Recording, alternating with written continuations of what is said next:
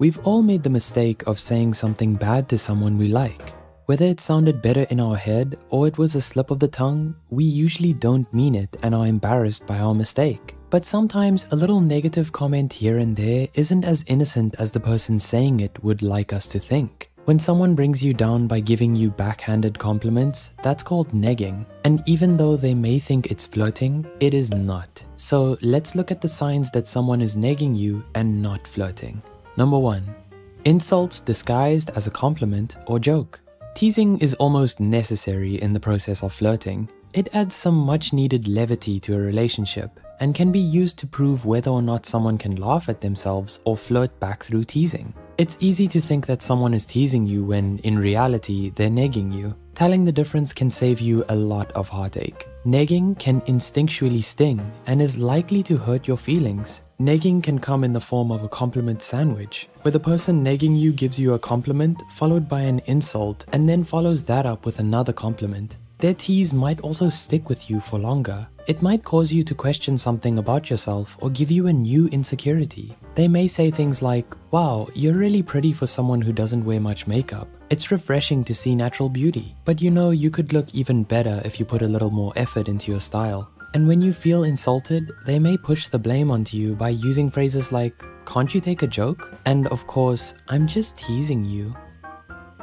Number two, it's becoming familiar. After a while, you might find yourself expecting their backhanded compliments. You might even make excuses for them, brushing it off as their way of flirting. When negging is ingrained in a relationship, it can become emotionally or verbally abusive, if it isn't already. You may feel like you can't speak out against it because they'll accuse you of being too sensitive or making them feel bad. If you ever feel wrong for not liking the way they flirt with you, they're probably negging you. Number 3 toying with your emotions. Negging isn't accidental. It's done to purposefully manipulate. When we flirt, we want the person we're flirting with to feel good. Flirting has an emotional goal. Negging also has an emotional goal. Unfortunately, that goal is usually to break your confidence, to make you feel worse about yourself so that they seem better. It sounds so obvious and villainous when it's spoken out like that, but the emotional impact that negging can have shouldn't be underestimated. Knowing that the person you like almost likes you can be catastrophic. Imagine you are head over heels for someone and they say, I love your hair like that. It makes your forehead seem smaller. Sure, it sounds like a compliment, but you'll always worry they don't like your forehead. The attraction you might feel for the person negging you is temporary, but the negative feelings you get from their backhanded compliments will build up. It's extremely unlikely that a relationship built on negging will be a happy and satisfying one. If you find that you feel less confident the more time you spend with the person you like, they might be negging you. Number 4. Narcissism. Often, but not always, Negging is indicative of narcissistic traits. This isn't to say that all people who do it are narcissists, but it could be beneficial for you to look out for other narcissistic traits in the person you're flirting with. It might feel like the person is always trying to make themselves better than you, almost like it's a competition.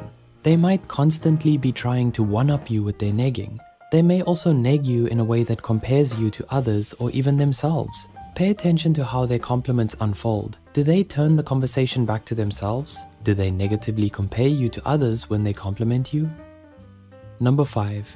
They think they will stand out or seem confident. Flirting can be intimidating. We don't always know how we're going to get someone's attention or if they will even respond to what we say.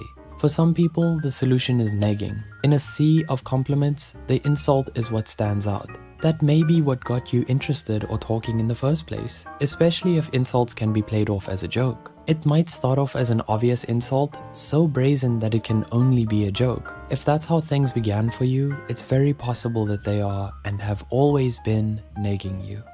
We can't overstate the negative effects that negging can have on your self-esteem and your relationship. All of the evidence suggests that a relationship with negging is not a relationship anyone should be part of. Flirting isn't as ambiguous as we might believe, so trust your gut and remember that if someone truly loved you, constructive criticism, mean jokes, and teasing shouldn't hurt. If this helped you see things a little clearer, please leave a like on the video and remember to subscribe to Psych2Go for more videos like this. You've got this.